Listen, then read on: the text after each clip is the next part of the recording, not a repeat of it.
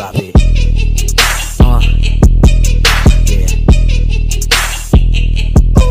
Alright, now call me the joke.